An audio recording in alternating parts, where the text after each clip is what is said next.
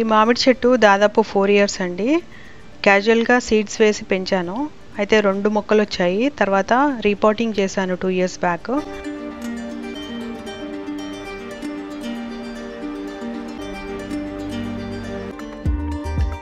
మొన్నసారి ఇది కాంపోస్టును ఇంకా సాయిల్ బాగా చేంజ్ చేశాను అనమాట పెండరు అవన్నీ కలిపి వేసాము సాయిల్.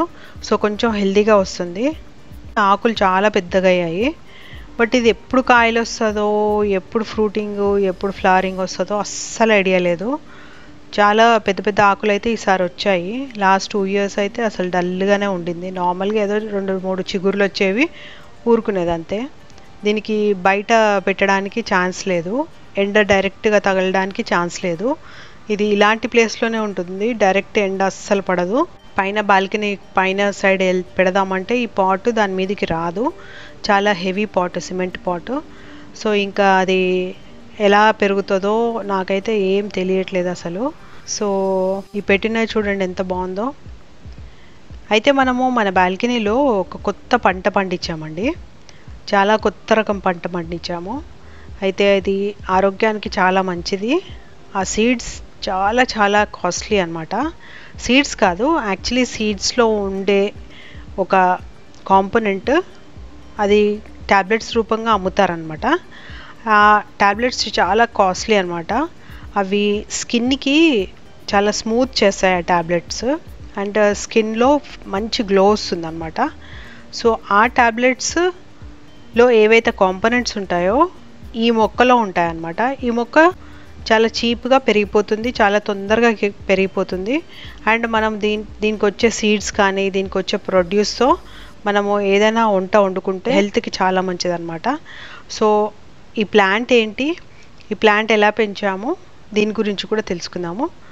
సో దానికంటే ముందు ఒకవేళ మీరు మన ఛానల్ని సబ్స్క్రైబ్ చేసుకోకపోతే సబ్స్క్రైబ్ చేసుకోండి. అలాగే లైక్ చేసి షేర్ చేస్తూ ఉండండి. Welcome to Telugu gardener with arts friends ఈ డైలియా మొక్క చూడండి. దాదాపు త్రీ మంత్స్ అయింది. బాగా హెల్తీగా గ్రో అయింది. కానీ పొడుగ్గా పెరుగుతుంది అది పాపము. మొగ్గలు వస్తుంది ఇప్పుడు వస్తుంది అప్పుడు వస్తుంది అని అనుకుంటే మొగ్గలాగా ఇట్లా చిగురులు వస్తుంది కానీ సడన్గా అది మళ్ళీ డల్ అయిపోతుంది. మళ్ళీ ఒకసారి హెల్తీగా వచ్చి ఈసారైనా మొగ్గలు వస్తాయేమో పూలు వస్తాయేమో చూద్దామని అనుకుంటే మళ్ళీ డల్ అయిపోద్ది. మళ్ళీ ఇలాగ పొడుగ్గా పెరిగిపోతూనే ఉంది.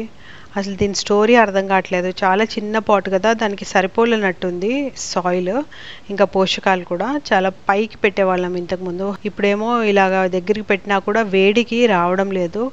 డైలియా కదా రాదు ఇంకా. ఈ మామిడి చెట్టు క్యాజువల్గా సీడ్స్ వేసి పెంచాను. అయితే రెండు మొక్కలు వచ్చాయి. సో కొంచెం కొంచెం పెరుగుతుంది. ఈసారి కొంచెం ఎక్కువగా పెరిగినట్టు అనిపిస్తుంది. బట్ ఒక చిన్న ఇంకొక మొక్క ఏమో పోయింది. ఇప్పుడైతే ఈ చెట్టు మాత్రం ఇలా ఉంది. సో ఫ్రెండ్స్ ఈ మొక్క చూసారా? కొత్త రకం మొక్క పండించాము ఇంట్లో బాల్కనీ గార్డెన్లో. చాలా బ్యూటిఫుల్ ఫ్లవర్స్ వచ్చాయి దీనికి. బ్లూ కలర్ ఇంకా పింక్ కలర్ ఫ్లవర్స్ వచ్చాయి.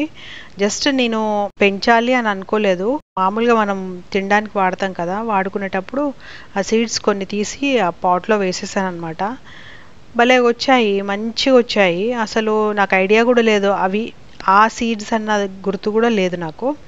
బట్ ఇంకా పాట్స్లో పెరుగుతుంటే కొత్త రకంగా ఉంటుంది కదా నేను అనుకున్నాను ఏదో ఫ్లవరింగ్ ప్లాంట్ ఏమోలే ఏదైనా సీడ్స్ ఇట్లా పడ్డాయేమో నేనే వేసానేమో అదే పెరుగుతుందేమో అని అనుకున్నాను. తర్వాత బ్యూటిఫుల్ ఫ్లవర్స్ వచ్చాయి బ్లూ కలర్ ఇంకా పింక్ కలరు సో అనుకున్నాను మనం వేసిన సీడ్స్లో ఫ్లవర్స్ ఇలాగెట్టివి ఏమీ లేవు మరి ఇదేదో కొత్త రకం పంట అని అనుకున్నాను. ఇది ఒక గడ్డిలాగా ఉందన్నమాట. జస్ట్ మన డయాంథస్ ఆకులు ఉంటాయి కదా అలాగే ఉన్నాయి. బట్ చిన్నగా ఉన్నాయి సన్నగా ఉన్నాయి. డయాంథస్కి ఏమో మనకి కొంచెం లావుగా ఉంటాయి మరీ గడ్డిలాగా ఉంటాయి కదా దీనికి అలా లేవు అనమాట అయితే ఈ ప్లాంట్ వచ్చేసి ఫ్లాక్స్ సీడ్స్ అండి. ఫ్లాక్స్ సీడ్స్ తెలుసు కదా?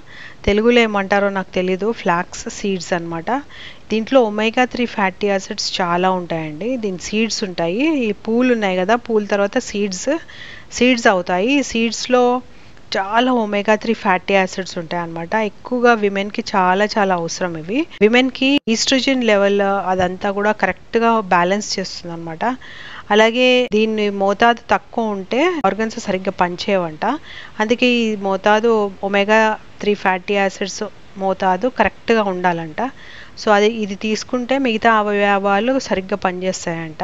సో అందుకే ఇది చాలా ఇంపార్టెంట్ అనమాట అయితే ఇవి మనము ఈ దీంట్లో ఒమేగా త్రీ ఫ్యాటీ యాసిడ్స్ ఉంటాయి కదా అవి ట్యాబ్లెట్ రూపంగా అమ్ముతే ఏమో చాలా కాస్ట్లీ అనమాట అయితే చాలా ఎక్స్పెన్సివ్ కదా. అందుకనే మనం ఏం చేయాలంటే ఈ ఫ్లాక్ సీడ్స్ రెగ్యులర్గా వాడుకోవాలి.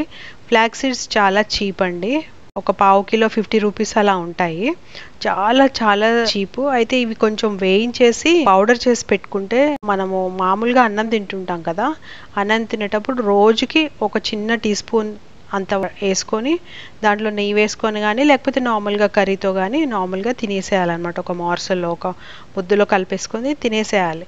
ఇది కరెక్ట్గా మోతాదు అంత చిన్న స్పూన్తో తింటే సరిపోతుంది అనమాట సో ఇది చాలా చాలా ఉపయోగము. అలాగే మనకి మనము దోశ మల్టీ ఆట దోశ వాడతాం కదా. మల్టీ ఆట అంటే మనం ఇంట్లో రెగ్యులర్గా ఎప్పుడప్పుడు తొందర తొందరగా దోశ చేసుకోవాలి అని అంటే శనగపిండి వేసేసి గోధుమ పిండి వేసి బియ్యం పిండి వేసేసి అలాగే ఇంకా మన దగ్గర ఏవైనా జొన్న పిండి కానీ రాగి పిండి కానీ ఇలాంటివి ఉంటాయి కదా అవన్నీ వేస్తాం కదా.